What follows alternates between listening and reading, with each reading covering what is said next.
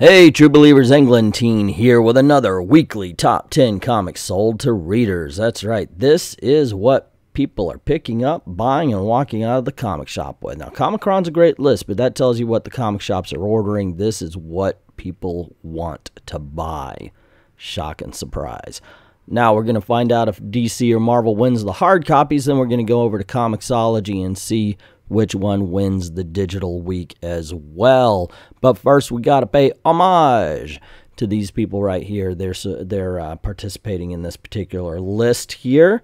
So if you're in the area, by all means, stop on in, see what they got, maybe buy something, say hello, and uh, don't forget to support your own local comic shop. Now remember, this is Bleeding Cool, so by all means, grain of salt. Now let's get this party started. Off the countdown at number 10 is Titans, number 28. Number 9 gives us X Men Red, number 9. At number 8, we have The Flash, number 57. At number 7, we have Spider Girls, number 1. In the number 6 slot, we have Justice League Odyssey, number 2. At number 5, we have Wonder Woman number 57, while at number 4, we have Amazing Spider Man number 8. At number three, we have Return of Wolverine, number two. And at number two, we have the Brian Michael Bendis abomination that is Action Comics 1004. And at number one is Detective Comics 991. There you go, gang. For me, it was a little bit of a weak week. Ha ha ha. Uh, not not a whole bunch that really had me excited. DC won, of course. They had Detective Comics, Action Comics, they had Wonder Woman, Justice League Odyssey, The Flash, and Titans. So it was six to four. In the top five, however, Marvel had Return of Wolverine and Amazing Spider Man. And of course, the three in the bottom were Spider Girl, X Men Red, and that's it. There you go. so anyway, uh, yeah, let, I I know I thought it was a, a, a, not a particularly strong week, but what did the shop owners think of it? This was a very strong week. Lots of great selling books. Return of Wolverine number two was our best selling book of the week, but JLA JL Odyssey, excuse me, Action, Wonder Woman, and Detective all put impressive numbers. In fact, all of our top 20 books had very strong sales this week. Marvel and DC dominated our top 20 with just about an even split. Foil covers and crossovers do seem to be adding to sales a bit. I like it. Hopefully, sales stay up because of the great stories inside. Well, I guess I stand corrected as far as it being a weak week, but I was just talking about things I was excited about. However, I do have a theory on the differences in sales. I just want to see how digital goes before I speak it. This week was kind of uneventful despite being full of events, with Wonder Woman creeping really close to the top spot, which surprised me. Detective was number one, as any Batman book usually is. What I have noticed is that with each successive week, the What If books have sold less and less. This week seemed to be met with a total indifference. Honorable mention to Black Panther vs. Deadpool, which could have made the list if people hadn't looked at the art inside and put it back. Several customers commented on the ugly art and declined it. I have four videos today. At midnight last night, I released Kiss and Old Lady Harley reviews. You've got this one. The next one, however, is going to be a review of that Black Panther Deadpool. Do not miss it. You're going to want to see it. Trust me on that. Also, along with that, I do review an independent comic, usually a number one, just to get you know, a little attention to a new independent comic book. A bit of a light week, with the only real tentpole ongoing hitting the shelves being Amazing Spider Man. Unsurprisingly, Spidey sits at the top of the list, hanging out with Detective Comics, Action Comics, Wonder Woman, and The Return of Wolverine.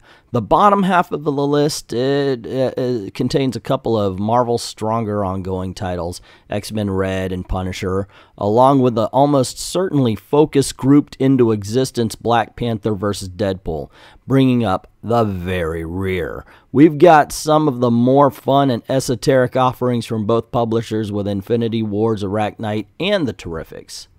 Look, I've never hidden my bias towards DC. I like DC better than Marvel. I do.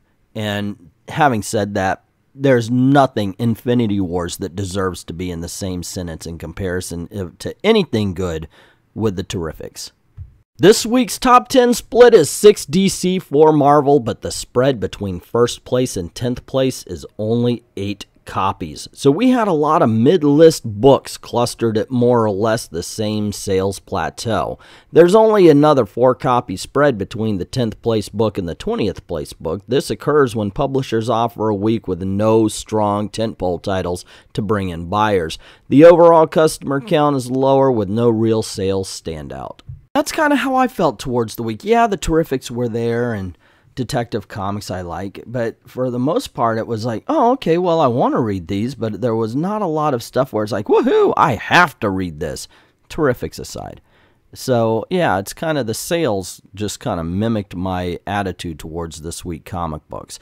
But that's just me. There's there might be something you were really excited about but there you go. So, at this point, we're going to go on over to Comixology, the world's biggest digital comic book shop, and we're going to find out who wins the digital week. Is it Marvel or DC? DC owned the hard copies. Let's see how this goes. At number 10, we have Titans number 28. Number 9 brings us Flash number 57. Number 8 brings us Justice League Odyssey number 2. X Men Red number 9 makes it into 7th place, as Spider Geddon number 2 makes it into 6th. At number 5, we have Detective Comics 991, while at number 4, we have Wonder Woman number 57. Number 3 brings us Amazing Spider Man number 8, while in the runner up position at number 2, we have Return of the Wolverine number 2. And in the number one spot, we have The Anal Wart in Search of Ass Cream, written by Brian Michael Bendis, Action Comics 1004. All right, so we have a bit of a repeat of the uh, the numbers.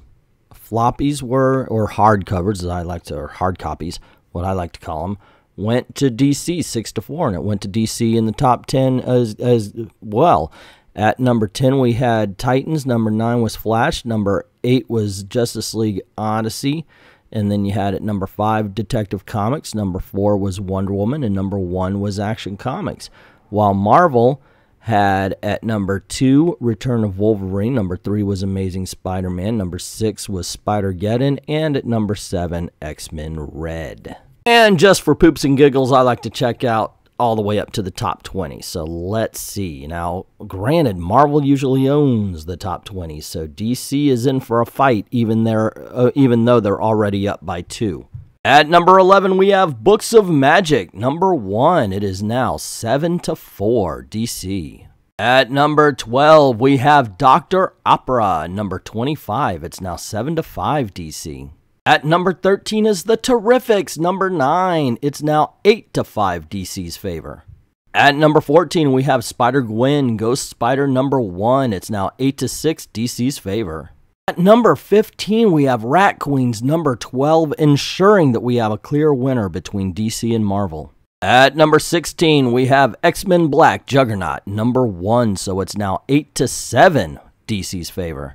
And at number 17, Spider Girls number 1 ties it up 8 to 8. At number 18, we have Soldier Supreme number 2 making it 9 to 8 in Marvel's favor. And then a hit by What If Thor was raised by Frost Johnson, Giants to make it 10 to 8.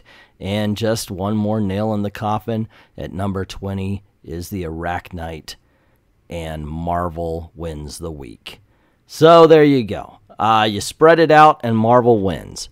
So, you know what? We always talk about, wow, Marvel stinks, and they're all, but, but they are exciting readers to buy again.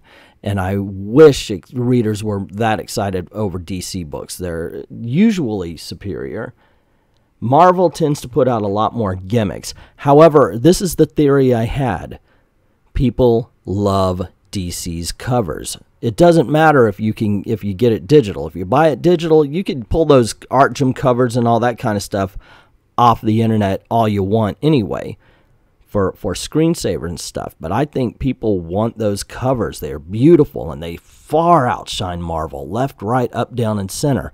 But I wonder if people are reading it and enjoying the stories more, which I am. I can honestly say that for me, but I just wonder if other people are doing it as well. So there you go. Hard copies go to DC, digital goes to Marvel. It's a tale as old as time. So, those are my thoughts on the whole countdown thing. What are yours? What do you think is too high? What do you think is too low? And what do you think is missing or should not even be anywhere near a top 10 or a top 20 countdown? And also, and think about this hard how much of an anal polyp is Brian Michael Bendis' writing these days and how he's treating action comics and the Superman family? Let me know that in the comments below as well. And if you like these videos, which I know you do, uh, please click like, share. Of course, that gets word out about the channel. And don't forget to hit that uh, subscription if you haven't done it already and the notification bell. And this is the way I'm trying to make a living. Aren't we all trying to make a living? But this is the way I'm trying to do it. So please help out the channel. Go on over to Patreon, drop a dollar in the till. The link's in the description below. Like, thank everybody who's already done that. And to everyone, all of the true believers, thank you very, very much for watching.